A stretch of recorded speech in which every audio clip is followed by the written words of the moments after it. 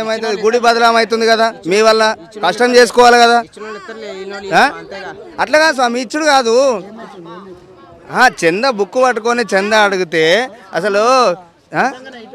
ఇటువంటి వాళ్ళ వల్ల గుడి గుడి పేరు బదలాం అవుతుంది కదా? స్కూల్ పోతలేవా నాన్న ఇవాళ ఏం వారం అని ఇక్కడికి వచ్చినావు? చెప్పు నాన్న పండు. మీరు చేసేది కరెక్ట్ కాదు. ఏ ఇటు రావాలి. ఇట్రా అమ్మా ఇట్రా నువ్వు మీరు చేసేది కరెక్టేనా? స్కూల్ పోవాలిగా మీరు? నీ నీ వయసు ఎంత? వాళ్ళు చేయడం బట్టి దేవునికి చెడ్డ పేరు వస్తుంది. కమిటీ వాళ్ళకి చెడ్డ పేరు వస్తుంది. ఆ? ఇప్పుడు యూట్యూబర్లలో నా సొంటోనికి సందు దొరికింది. ఇట్లా వచ్చి మాట్లాడనీకి ఉండి లేకుండా ఉన్నా కూడా వీళ్ళు ఇలాంటి వాళ్ళు మాత్రం ఇక్కడ నుంచి ఆడి వరకు ఒక వే- వేల మంది కనబడుతున్నారు. పెద్ద పెద్ద మనిషి మనుషులు కాలు లేని వాళ్ళు అడిగితే బాగుంటది. కష్టపడుతున్నావు పొద్దు నుంచి సాయంత్రం దాకా నిలబడి కష్టపడి నువ్వు పని చేసుకుంటున్నావు. వాని వయసు పద్దెనిమిది ఏళ్ళు ఉన్నాయి. వాడు అడుక్కునే అవసరం ఏముంది? సార్ వాళ్ళు చెప్తే. ఎందుకు కూరమ్మా మీరు గట్టిగా అడగాలి. వాళ్ళ బొట్టు పెడుతున్నారు పూలు అమ్ముకుంటున్నారు. ఏది కూడా అన్ని కూడా మంచి న్యాయంగానే ఇస్తున్నారు. ఇది అడుక్కోవడం ఒకటే మంచిగా లేదు ఇక్కడ.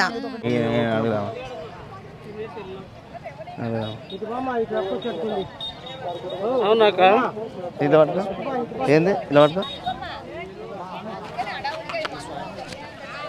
ఏం స్వామి? పుస్తకం పట్టుకొని ఉన్నావు ఏం స్వామి? చందా అడుగుతున్నా స్వామి దేనికోసం చందా? చిలక దోషిని చెప్పాను స్వామి? ఆ? చిలక దోషిని చెప్పాను చిలక దోషం అయితే చిలక పట్టుకొని ఉండాలి. ఈ బు- పుస్తకం పట్టుకొని చందా చూడండి. స్వామి మాట్లాడు స్వామి. ఇప్పుడు ఈడ ఇప్పుడు ఈడ పుస్తకము పెన్ను పట్టుకొని ఉన్నావు.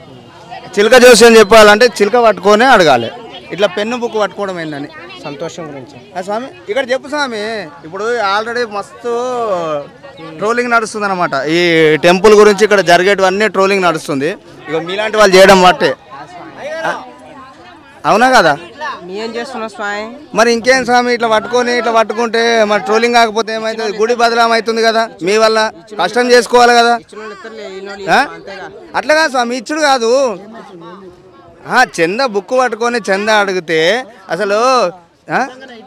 ఇటువంటి వాళ్ళ వల్ల గుడి గుడి పేరు బదలాం అవుతుంది కదా?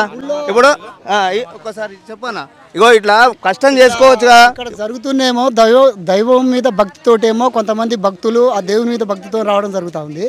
కానీ కొంతమంది పుస్తకాలు పట్టుకొని ఆ సందాలని ఈ సందాలని ఇక్కడ దేవుని బదనం చేసే పరిస్థితి ఏర్పడే అవకాశాలు ఉన్నాయి కాబట్టి దయచేసి ఇక్కడ ఈ దేవదాన కమిటీ పిల్లగానికి ఏమైందన్న? కాళ్ళొంకర ఉందా కన్నొంకర ఉందా ఏమొంకర ఉంది చెప్పి? జర పెద్ద మనిషి అని అడిగితే తప్పు లేదు ఆడ. దైవము దైవము అందరికీ దైవమే.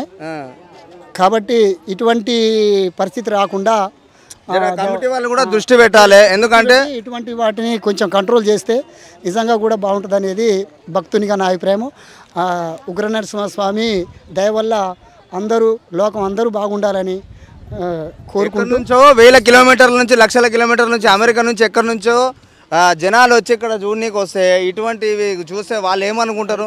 అరే మీరు ఇంకా ఇంకా వెనకబడ్డ దేశమేరా నాయన? ఈ దేవుళ్ళ కాడ అడకదినడేంద్రా నాయన అంటారు. మీకు వయసు చిన్న చిన్న వయసు పద్దెనిమిది ఇరవై ఏళ్ళ వయసు పెట్టుకొని పుస్తకాలు ఉండి లేకుండా ఉన్నా కూడా వీళ్ళు ఇలాంటి వాళ్ళు మాత్రం ఇక్కడ నుంచి ఆడి వరకు ఒక వే- వేల మంది కనబడుతున్నారు. పెద్ద పెద్ద మనిషి మనుషులు కాలు లేని వాళ్ళు అడిగితే ఉంటే బాగుంటది. కానీ ఇది మాత్రం మంచిగా లేదు. చిన్న చిన్న పిల్లలు చదువుకోవాల్సిన పిల్లలు కూడా అడగడం మంచిగా లేదు.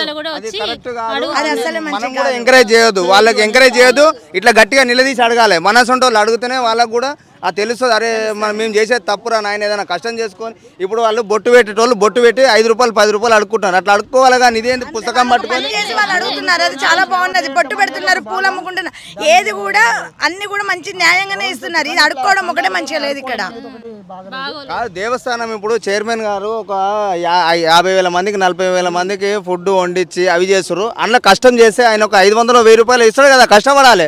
పోయి ఆడ పని చేసుకోవాలి కానీ ఇట్లా పదహారేళ్ళు పద్దెనిమిది ఏళ్ళు ఇరవై ఏళ్ళ వయసు కష్టం చేసుకునే వయసు. పది సంవత్సరాల పిల్లలు కూడా అడుగుతున్నారు మంచిగా అనిపించలేదు అసలుకి.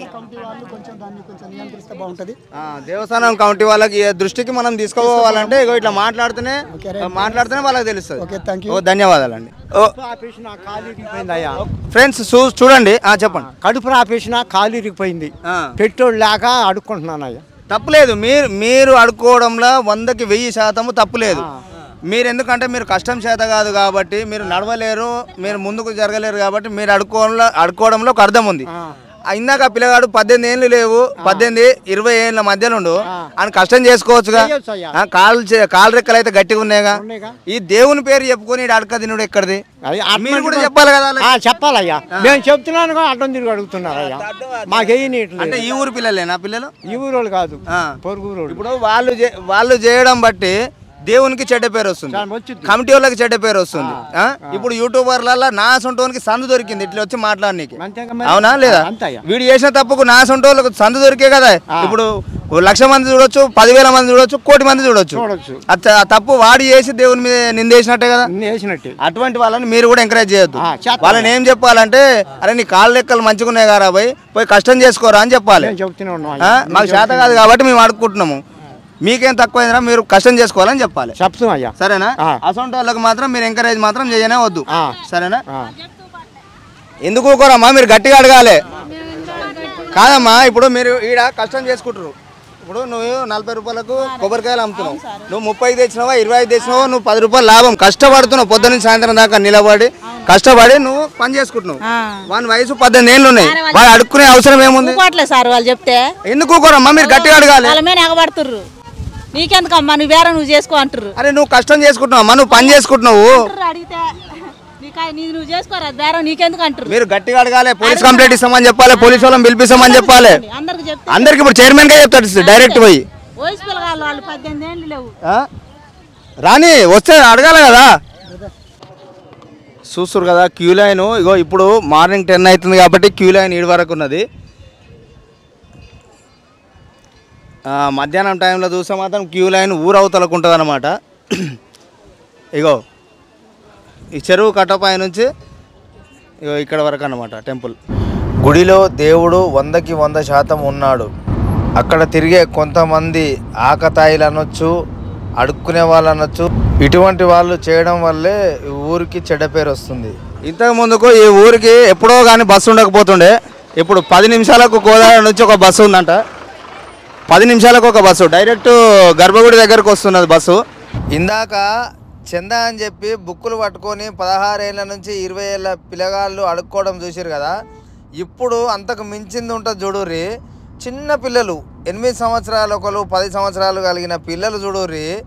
మెల్లగా డ్రెస్ కోడ్ వేసుకొని చేతులలో చెంబులు పట్టుకొని ఇగో క్యూ లైన్లో ఉన్న భక్తుల దగ్గరికి వచ్చి ఎట్లా శతాంశలో చూడుర్రి. వీళ్ళకి స్కూల్కి పోయే వయసు ఉన్నది వాళ్ళు చూడుర్రి డ్రెస్సులు వేసుకొని చెంబులు చేతిలో పట్టుకొని ఇది ఒక బిజినెస్ అయిపోయింది అనమాట ఈ గుడి దగ్గర. వీళ్ళకి ఎంత చెప్పినా వీళ్ళు ఇంటలేరంట వీళ్ళకు దేవస్థానం కమిటీ వాళ్ళతో మాట్లాడదామని పైకి పోయినామన్నమాట. ఫస్ట్ వీళ్ళ మాటలు వినండి. ఎట్టెట్లా మాట్లాడుతుర్రో వీళ్ళు. చూసురు కదా ఫ్రెండ్స్? ఒకసారి. నాన్న నువ్వు స- స్కూల్కి పోతలేరా మీరు?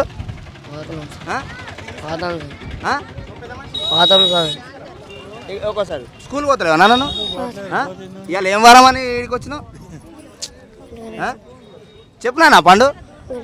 ఇక ఇక్కడ ఇక్కడ ఇక. ఇక్కడ మీరు చేసేది కరెక్ట్ కాదు. ఏ ఇటు రావాలి.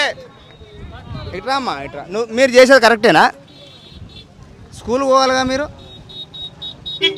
నీ నీ వయసు ఎంత? నీ వయసు ఎంత నానా ఎంత నీ వయసు? గట్టిగా మాట్లాడమ్మా. ఎంత నీ వయసు ఎంత? ఇది కరెక్ట్ కాదు. ఫస్ట్ చదువుకో. చదువు చదువు ఫస్ట్. అర్థమవుతుందా? చదవలేదు అనుకో ఇంకో మాల సన్నాసులా తిరగాలి. ఎవరు చెప్పారు మీకు ఇట్లా ఇట్లా ఇట్లా చేయమని ఎవరు చెప్పారు నాన్న? మాట్లాడమ్మా. ఇందాక అడుగుతున్నావుగా. డబ్బులు అని అడిగినావుగా ఇందాక.